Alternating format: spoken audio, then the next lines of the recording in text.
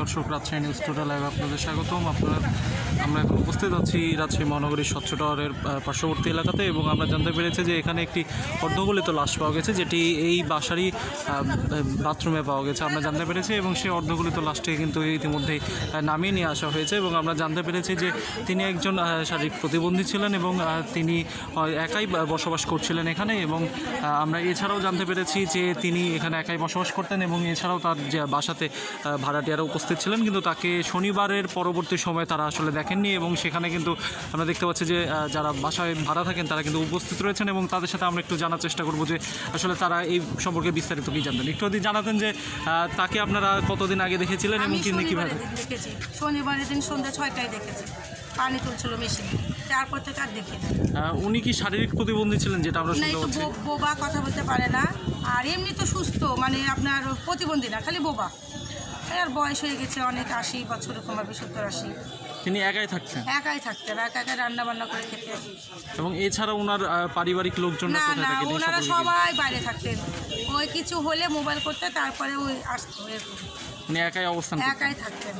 এবং শনিবার পরবর্তী সময় আপনাদের সাথে কোনো না রকম- না যোগাযোগ নাই। আমরা আমি শনিবার পর্যন্ত দেখেছি কিন্তু একটা আন্টি উনি রবিবার দিন দেখেছে তারপর থেকে দেখেন। আমি নিস্তলা নিচতলা ভাড়া থাকি ওনার হচ্ছে নিস্তলাটা ফ্ল্যাট আমার পানি নাই সেজন্য আমি চিল্লাচিল্লি করছি পানি দিচ্ছে না কেন? তখন দেখছি যে চা চাচার কোনো শব্দ না উনি খুব কাশতো। যে কী ব্যাপার আজ কয়দিন আমি কাশি শুনতে পাচ্ছি না যে কিছু হলো? তখন আমি আমার ওনার বোনকে মোবাইল করি ঢাকায়। যে চাচা এরকম কাশছে না আবার চাচার কোনো শব্দ পাচ্ছি না। দেখেন তো কিছু হয়েছে কি না তখন উনি বলছে দেখো এই বলতে বলতে সারা রাত তখন সকালের দিকে আমি ওনার ওই ঘরের একটু ফুটা আছে ফুটা দিয়ে আমি মুখ বার করে দেখতে গেছি দেখছি একটা বিকট বন্ধ বাড়াচ্ছে তখন আমি নিচে এসে সবাইকে বলছি কিছু একটা হয়েছে। তখন এই তো জানাজানি করার পর পুলিশ আপনার হচ্ছে সাড়ে বারোটা একটার দিকে আসে দরজা ভেঙে দেখতে মরে পড়ে আছে। সেটি কোথায়? বাথরুম? বাথরুমের ভেতরে। বাথরুমের ভেতরে। এবং তার পরবর্তীতে উদ্ধার করে তাকে হ্যাঁ তার নিয়ে আসা হয়েছে তো নিচে।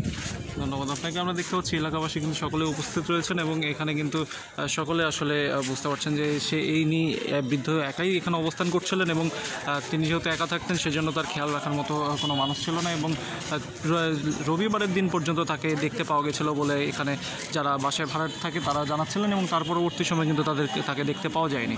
এবং সেই লাশটিকে কিন্তু এখানে নিয়ে এসে ইতিমধ্যে রাখা হয়েছে এবং আমরা জানতে পেরেছি যে বাসার যে বাথরুমে সেখানে কিন্তু এই লাশটিকে অর্ধগলিত অবস্থায় পাওয়া গেছে এবং আহ, ধারণা করছে এলাকাবাসী সহ যারা রয়েছেন ধারণা করছেন যে হয়তো বা বাথরুমেই তিনি মারা গেছেন এবং সেখানে তার লাশটিকে পাওয়া গেছে অর্ধগলিত অবস্থায় এবং পুলিশ প্রশাসন কিন্তু এখানে উপস্থিত রয়েছেন এবং তারা কিন্তু ইতিমধ্যে লাশটিকে উদ্ধার করে নিচে নিয়ে এসেছেন এবং এখান থেকে নিয়ে যাওয়ার যে সকল ব্যবস্থা সেগুলো কিন্তু তারা চালিয়ে যাচ্ছেন এবং আমরা এখানে দেখতে পাচ্ছি যে পুলিশ প্রশাসনের সহ অনেকে উপস্থিত রয়েছেন এবং আমরা একটু আপনার সাথে কথা বললাম।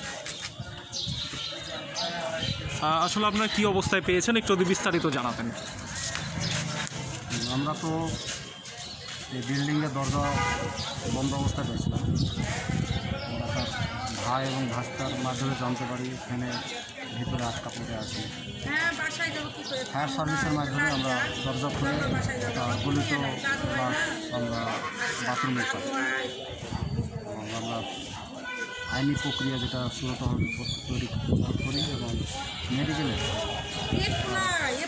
মৃত্যুর কারণ জানার জন্য করা। সাময়িকভাবে আপনারা কোনো কিছু ধারণা করছেন কিনা?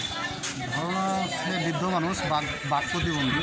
সে গোসলখানায় গোসল করতে গিয়ে সম্ভবত করে এটা তাছাড়া অন্য কোনো উদ্ঘটন পরে তদন্ত তদন্ত করতেছে ধন্যবাদ। আপনাকে আমরা জানতে পারছিলাম যে তারা প্রাথমিকভাবে ধারণা করছেন যে তিনি আসলে বাথরুমে হয়তো পড়ে কোনোভাবে মারা গেছেন এবং পরবর্তীতে আসলে তদন্ত পরবর্তীতে জানা যাবে যে আসলে তাকে কি অবস্থায় পাওয়া গেছে এবং এটি কোনো খুন কিনা বা আসলে তিনি অ্যাক্সিডেন্ট করে মারা গেছেন কিনা সেটি কিন্তু বিস্তারিত পরবর্তী, তদন্ত পরবর্তীতে জানা যাবে। এই পর্যন্ত ছিল আমাদের কাছে এখানকার সর্বশেষ অবস্থা। আমাদের সাথে থাকার জন্য আপনার ধন্যবাদ।